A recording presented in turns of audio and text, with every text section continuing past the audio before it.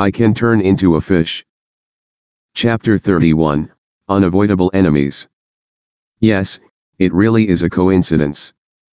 The young man said with a terrible expression, gripping his fists tightly. Brother Qin, who is this kid? What happened? Asked one of the young men by the side. The group of young men watched in confusion, unsure what to make of the situation.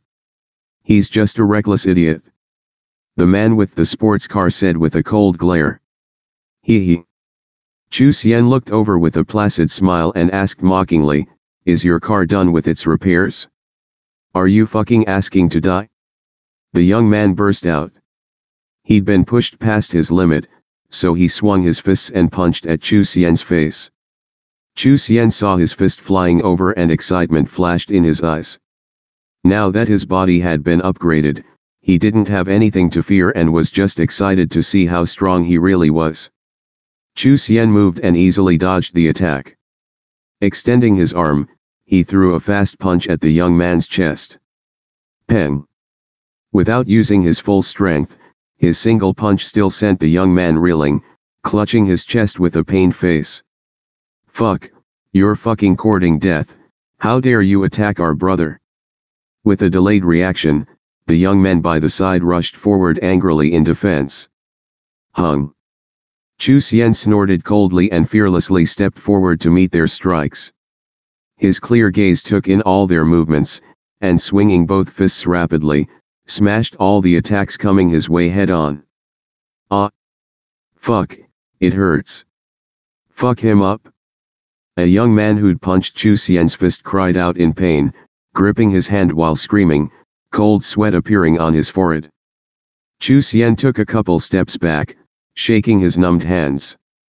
Although his body had toughened up and the strikes weren't too painful, his fists were still made of normal flesh and blood. Fuck him up. The sports car young man yelled, glaring at Chu Xian. Fuck him. Let's attack together. The young men all swung their fists and attacked once again. Like them, Chu Xian also had no fighting experience, but his reactions were fast and his movements were strong, Facing an entire group of young men, he wasn't unfairly matched. Even though he was hit a couple of times, he shrugged the blows off easily, and every one of his punches made the other men cry out in pain. In the end, the mob wasn't able to overcome him, and Chu Xian also didn't dare to continue fighting against so many by himself, so soon the two parties pulled apart. Chu Xian rubbed his fists, extremely satisfied with his fighting abilities. If this had happened two days earlier, he would probably be lying on the floor right now. Come at me, scum. I dared to smash your car because I'm not afraid of you. Come at me. Chu Xian gestured arrogantly at the sports car owner, mocking him. The young man glared at him with a black face, but when he saw the bloodied nose and swollen faces of his companions, he said furiously, Kid, just you wait. This isn't over. You think I'm scared? Trash. Chu Xian pointed at him and said disdainfully, if you're too scared to fight then I'm leaving. I'll look forward to our next meeting. Chu Xian turned away with a sneer, and straightening his clothes, returned to his car. Brother Qin. One of the sidekicks looked at the furious sports car young man and called out in low voice. Fuck. The sports car man ground his teeth in anger, and he looked on with an ugly expression as the expensive Land Rover left. Brother Qin, who is he? The sidekick asked. Him. The sports car young man said with a gloomy face, he's the guy who smashed my car. His sidekick's face changed color several times, and he turned towards the disappearing Land Rover.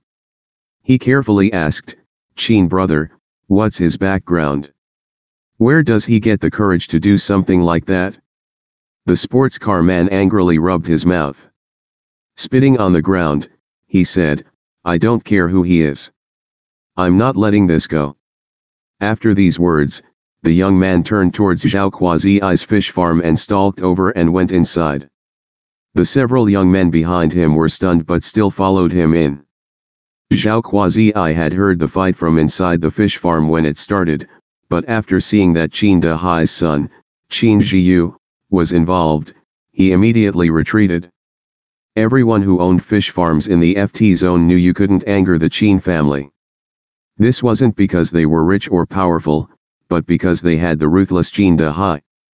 When Qin De Hai was young, he was just a fisherman from another city, but then he started renting fish farms and made some money raising fish. When the Fengtai Lake was auctioned off, many rich people flooded in from other cities. Qin De Hai also wanted a slice of the pie and prepared to lease a portion of the lake, but just as he was about to claim his prize, an outsider came and stole it away. The furious Qin De Hai took up a slaughtering fish knife and attacked the other man, seriously injuring him. Qin De Hai spent a year in prison but came back and brought several ruthless helpers with him. Everyone on the Fengtai fish farms knew the story, and no one dared to cross him. Soon, Qin De Hai used his methods to take over a portion of Fengtai Lake and continued farming fish. In the span of a decade, every time Fengtai Lake's zones were auctioned, Qin De Hai used any methods necessary to get the largest fish farm, which was usually equal in size to the fish farms by the sea. Qin Jiyu was also a rotten egg. He had inherited his father's arrogance and used his father's reputation to gather a group of delinquents to scare and intimidate people. Yo, Zhao Kuazi Qin Jiyu yelled when he saw Zhao Kuazi in front of him. Just now a kid left your place, who is he? Ah Qin Jiyu, I don't know who this young man is, he just came today to buy my fish farm. Zhao Kuazi answered with a smile. To buy your fish farm. Qin Jiyu's eyes flashed. You sold your fish farm to him? Yes, yes. He will come here this afternoon. Tomorrow, this place will belong to him. Zhao Kuizi nodded. He's coming back in the afternoon? Very good. Qin Jiyu said with a vicious expression. Anywhere else, maybe I couldn't touch you but in my territory. Humph, just you wait. I'll show you the consequences of messing with me. Chu Xian had no idea of the trouble in store for him while he calmly drove to the bank. Zhao Quazi wanted cash, and Chu Xian also needed to print a copy of his ID card. After finishing with his errands, Chu Xian stopped for lunch before returning to Zhao Quazi's farm.